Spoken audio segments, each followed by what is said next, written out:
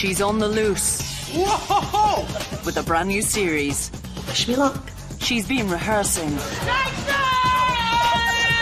and stirring it up. We wish her all the best Thank you. I mean that. I really do. with her latest mission. Oh, look. Here it comes. Oh, oh. It's Karen Dunbar. What is the presidente? Starts Wednesday, the 8th of January on BBC One Scotland.